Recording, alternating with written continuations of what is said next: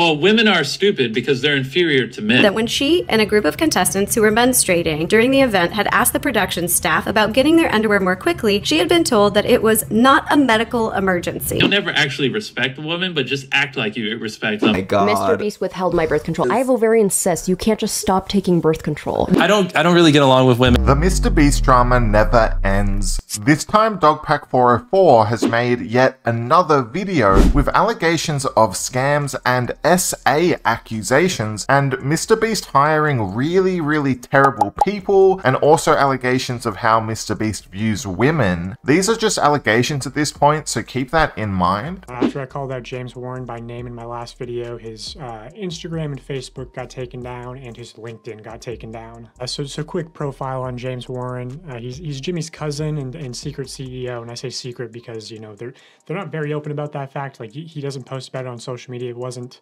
ever attached to his LinkedIn. He's never featured or, or really referenced anywhere. I heard that he's very aggressive. I've, I, have i have heard him referred to as a psychopath who screams at people and hits his, his uh, girlfriends.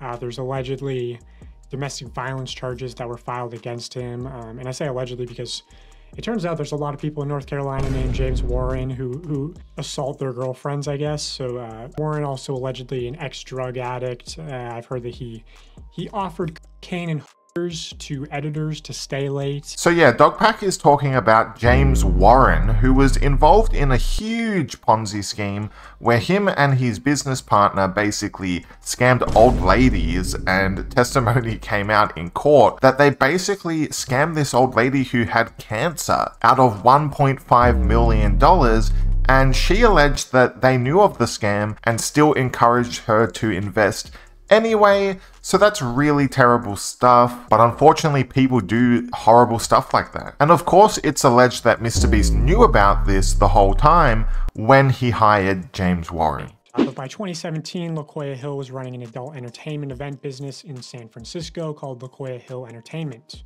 Uh, then in 2019, he was hired to Mr. Beast as a producer.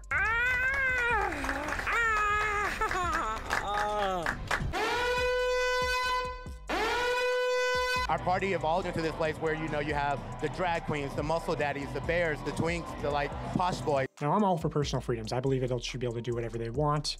However, I question what uh, qualified the sort of go-go dance drag daddy of San Francisco for a job producing YouTube content for children. But, you know, it'd also be weird if, if Mr. Beast hired uh, Johnny Sins as the janitor, I guess.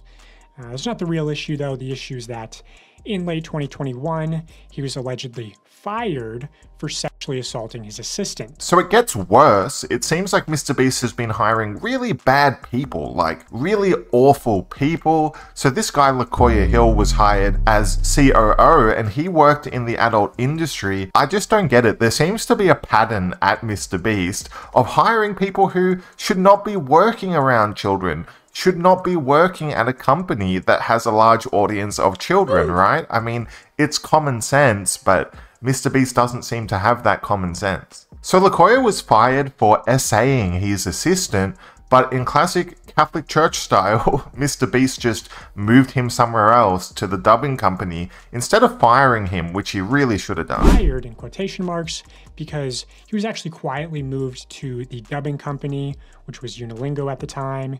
Here is uh, proof that he used the LaQuia at unilingo.tv email, links back to him, links to these photos, one of which was the profile picture for his YouTube channel. So Dogpack showed screenshots of employees talking about all this, so it seemed to be an open secret. And a lot of employees had also heard about LaQuia Hill, like doing crazy stuff like harassing employees, making them uncomfortable, booking hotel rooms with only one bed, and showing people his toy collection. No, not that type of toy collection.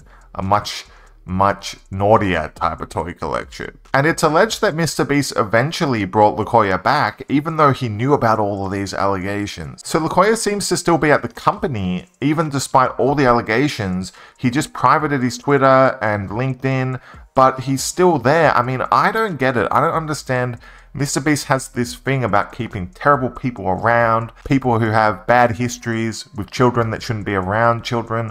I just don't get it, guys. Hey, buddy, it's James. Um, sorry to be bothering you. I've done my absolute best not to bother you. Um, but uh, Lakoya had uh, presented a bunch of stuff to me and Jimmy a little bit ago. All really great stuff. Um, but he had asked me and Jimmy personally. He's like, "Hey, you know, can I have a, a twenty-eight thousand dollar bonus for work I did in the past?"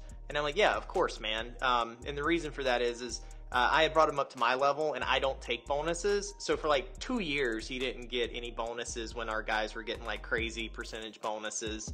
Um, I need a favor. Um, Sue cannot process this bonus through Beast. Um, I need a solid. Can you please process a 28k bonus for Lakoya? Let me know. Bye. So yeah, it seems they even gave him a 28 grand bonus, which is insane. Uh, here's another testimony. This person will go on the record. This is Jess, uh, who accused Ava Chris Tyson of, of sexual assault. I think her case has been sort of mostly ignored because she probably wasn't she wasn't a minor when it happened. But she was a Mr. Beast employee, and you can see in her evidence in her communications with the company this, the clear signs of a cover up. Uh, you can see them like threatening her with legal, legal action and emails and, and saying like, oh, we're gonna have a law firm investigate this. Well, they had one firm do an internal investigation, McGuire Woods LLP, the same law firm that sent me my first cease and desist. Uh, but then they hired, uh, I guess, Harvey Weinstein's legal team, allegedly, to re review everything. Uh, so I guess they weren't happy with the results of the first internal investigation, uh, allegedly, to internally investigate Lakoya Hill's sexual misconduct. So uh, why don't you make that report public, Jimmy? So Dogpack talks about how female employees had told him that they were told not to be alone in a room with particular people in powerful positions, which is really, really scary stuff. You should feel safe at work, be able to speak to higher ups with no fear, but apparently that, that is not how it works at Mr. Beast. It's like some sort of nightmare workplace. And they were also asked really uncomfortable questions where some were literally asked what they would do if they were assaulted by Mr. Beast himself. And the crazy thing is, it seems like people were discouraged from bringing up issues to HR because HR was run by Mr. Beast's mum.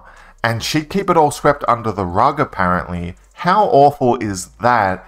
I mean, you can't be fair to employees when the boss's mother is running HR. It's just really unprofessional stuff. The company does not seem like it's run appropriately. Dogpack also talked about how there were a lot of efforts to cover stuff up, like one of Ava Chris Tyson's accusers who was threatened with legal action by Mr. Beast. I don't know. What do you guys think about all this? Let me know in the comments and subscribe if you liked the video.